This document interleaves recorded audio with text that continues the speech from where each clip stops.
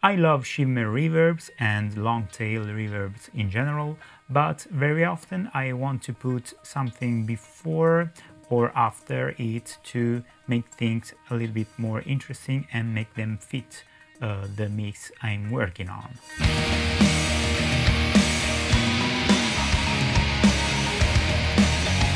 Hey plugin generation, Mirko Russo, ClangLab.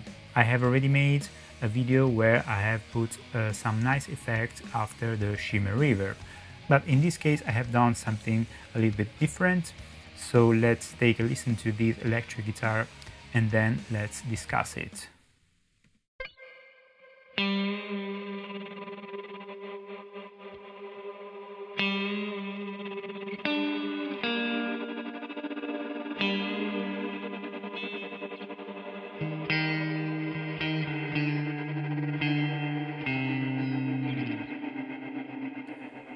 Okay, in this case, it is not a proper shimmer reverb uh, because I have created it sort of uh, using this microshift from Soundtoys, uh, which is a um, kind of chorus, let's put it this way.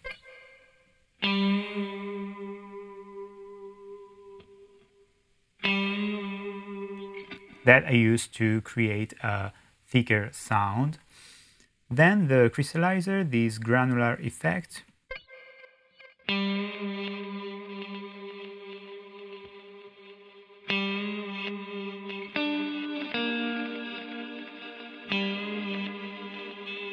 Okay, you can define it as a sort of uh, granular uh, reverse delay, sort of, and then a proper, an actual delay.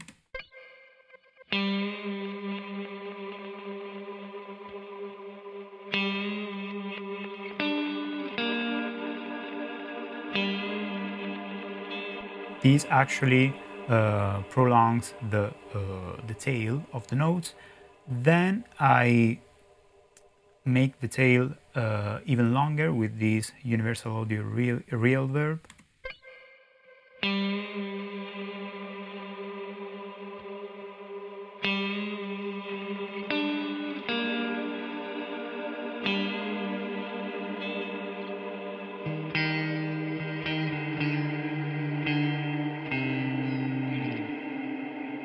In this way, with this plugin chain, so far I have created my um, shimmer-like reverb.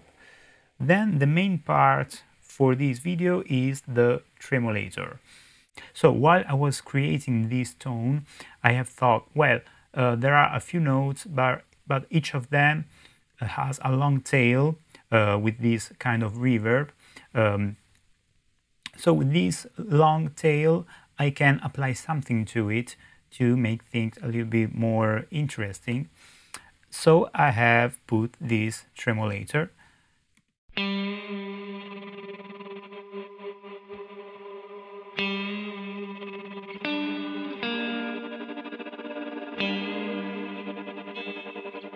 But there is not only uh, this, a tremolator, and that's it. Uh, it is not steady, as you can hear, and as you maybe have already seen, uh, there is uh, a process of automation, uh, mainly for depth, I, if I remember correctly, only for depth and rate.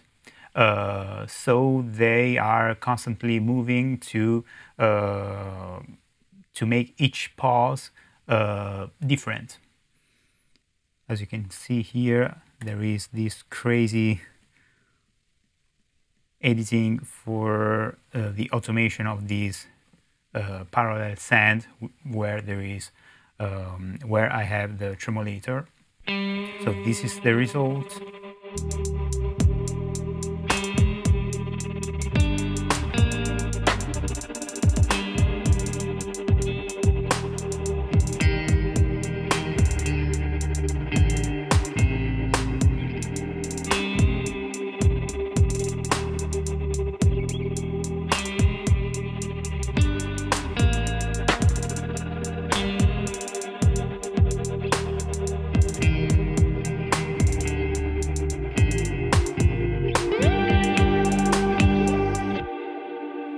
This is only uh, for the verse of this song, which is an, uh, a new song I'm working on and that will be released uh, really soon in the next few months. Last stage in this processing is a compressor after the tremolator in the parallel send uh, where I have put all of these effects 100% uh, um, roughly.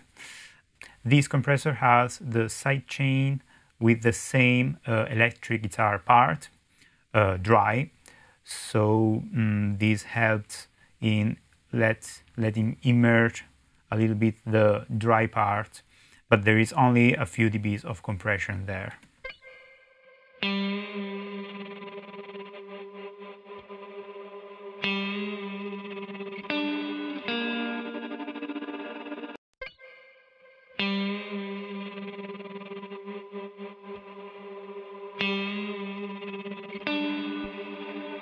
There's uh, a subtle difference, but um, I like it to uh, to have a little bit of control over the the wet uh, effect chain. So let's take a listen uh, again, maybe with the entire arrangement.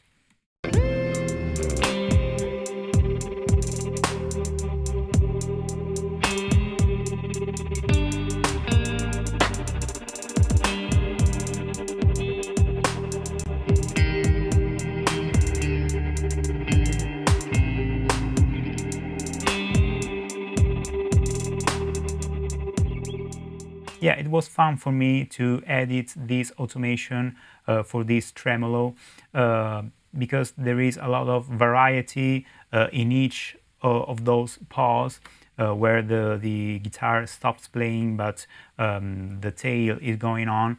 I have created a different tempo and depth settings um, with all of these going up and down uh, depending on what I have I have thought I would create. So uh, it has been really fun and the tremolo can be uh, a really nice toy to, to, to play with. And it's, in my opinion, it affects a lot the, the whole uh, effect chain in this case because otherwise you only have uh, a simple um, static shimmer reverb.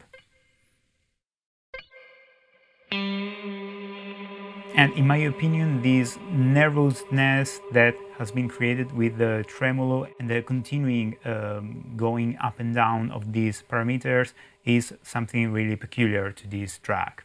I hope I have inspired you a little bit with this little trick uh, to make something new in your own songs. Uh, let me know in the comment what do you think about it. Press the like button if you liked the video and subscribe to the channel if you want to support it. See you in the next video. Bye.